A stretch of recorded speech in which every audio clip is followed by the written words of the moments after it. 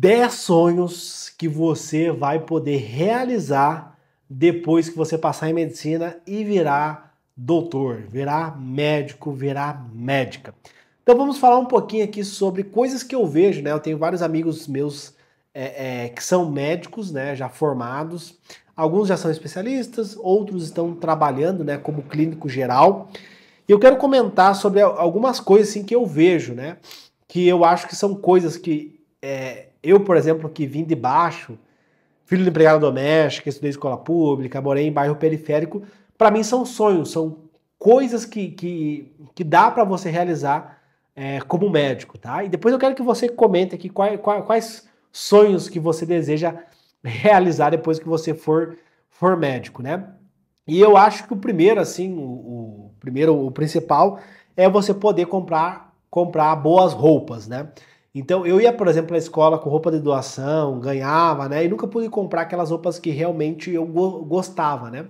Então eu vejo que como médico, né, ganhando um salário de médico, você consegue comprar aquela roupa que você gosta, você não olha muito pro preço, né? Você consegue comprar uma roupa porque você gostou e não necessariamente pelo preço, né?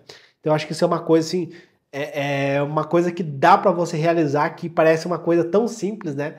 É tão óbvia assim, tão uh, tão simples, mas que aquelas pessoas que vêm de baixo, que não tem tantas condições, né? É um, é um sonho, é uma conquista, né? Você poder comprar uma roupa que você gosta. Segunda coisa é você poder ter um iPhone, ter, ter um telefone melhor, ter um telefone de última geração, né? Então é muito comum que o médico possa ter um telefone muito bom, né? Então isso é muito legal. Você poder ter um, um, um equipamento, né? Uma tecnologia melhor, né? Você não tem aquela sempre de última geração, a pior de todas, né? E você poder comprar à vista ali um telefone, você não precisa parcelar em 20 anos, né? Você poder pagar ali à vista aquele seu telefone, né? É, pode ser uma coisa muito legal. E é, a terceira é você poder comprar um carro, né? Você poder ter um carro. Eu, eu, eu lembro que eu ia para aula, né? É, geralmente meus colegas tinham um carro e eu não tinha, né? Eu tinha que ir de, de ônibus ou pegar um aplicativo, né? E eu via que eles iam sempre de carro. Então era uma coisa assim que, que me deixava meio mal, né? Eu ter que ir a pé, eles não me ofereciam muito carona, né? Eles tinham muito preconceito comigo, sabe? Não gostavam muito de mim, porque eu era filho de doméstica, né? Estudante bolsista, não pagava nada, né? Então eles não gostavam muito disso. Então você poder ter um carro, você ter. É, é, é um sonho, né? É uma realização você poder é, tirar a sua carteira de motorista, né? Então você poder ir para os lugares de carro, sabe, para o teu trabalho, para o seu plantão, para o hospital, acho que é, uma, é um sonho muito legal, né? Que pode parecer óbvio e simples para algumas pessoas que, que o pai sempre teve carro e tudo mais. É, eu, como a minha mãe nunca teve carro, né? Então para mim é um, um sonho, né? Uma coisa muito legal, tá? depois comenta aqui quais são os sonhos que você quer realizar, né? Essas aqui são algumas coisas que eu coloquei aqui que eu pontuei, mas você pode ser outras coisas, tá? É...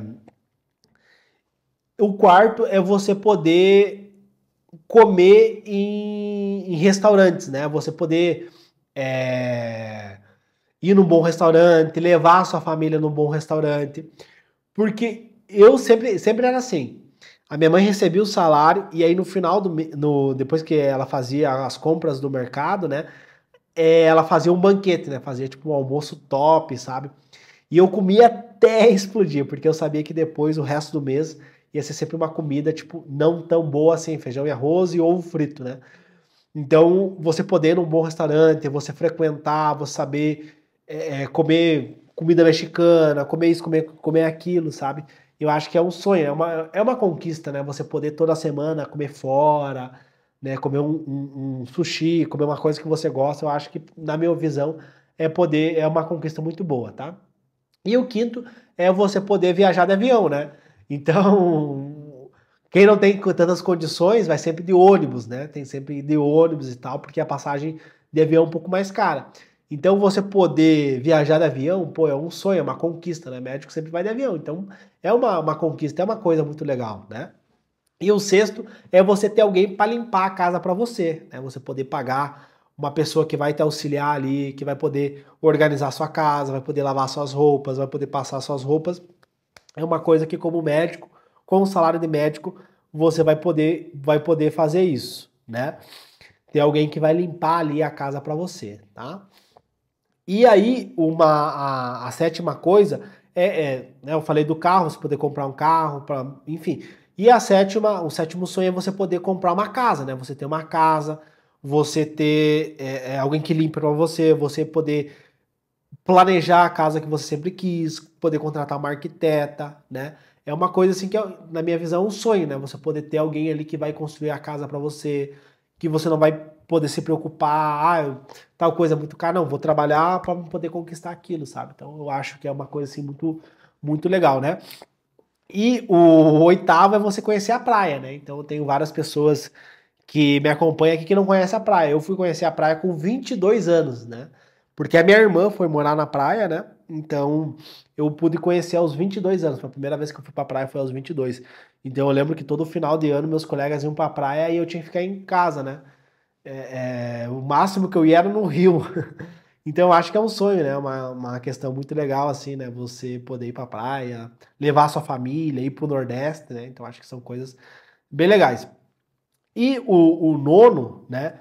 é você poder ter um plano de saúde, que eu acho que é o principal de todos, né? Você poder ter um plano de saúde, você cuidar da sua saúde, você colocar a sua família no plano de saúde, sabe? Então eu acho que isso é muito legal, né? É uma coisa muito bacana. Então eu acho que vale muito a pena, né? Você ter ali uma uma condição financeira melhor que possibilite você ter um plano de saúde. Então acho que isso é o principal de todos. E o último, né, e mais legal, né, eu achei que ia conseguir isso só depois de formado, mas eu consegui no quarto ano de medicina, né, que foi morar nos Estados Unidos, né, fazer a minha primeira viagem internacional. Então eu morei nos Estados Unidos, em Nova York, é, fiz um intercâmbio lá, né, fui para estudar.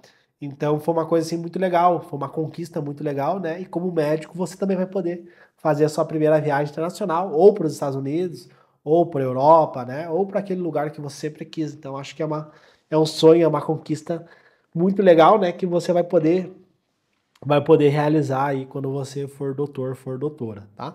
E comenta aqui quais são os sonhos que você quer realizar depois de formado, né? Depois de médico e que é o teu sonho que talvez eu não falei aqui, né? Então deixa um comentário aqui que depois eu vou ler todos os comentários para saber qual que é o teu sonho é, que você vai realizar depois de médico formado. E se você gostou do conteúdo, se inscreva aqui no canal, porque todos os dias eu posto conteúdo sobre neurociência da aprendizagem e metodologias ativas para ajudar você a passar em medicina e ser o primeiro médico da tua família.